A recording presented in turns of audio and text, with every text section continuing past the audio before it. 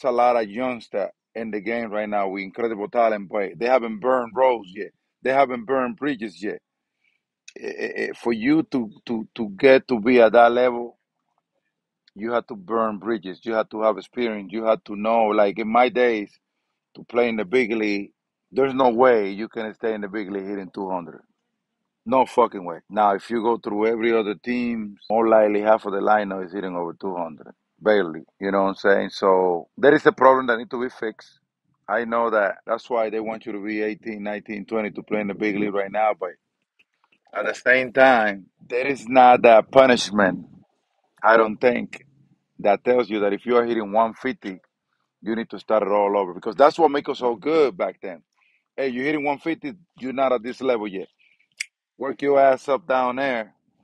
And whenever you figure out how to be able to hit, I bring you up.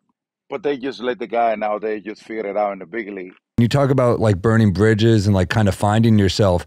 Did you, is there something that maybe you learned playing in Minnesota that you took with you to Boston? Oh man, I learned pretty much everything over there. Like, I mean, and it probably was the best thing that happened to me because I always had the talent to hit.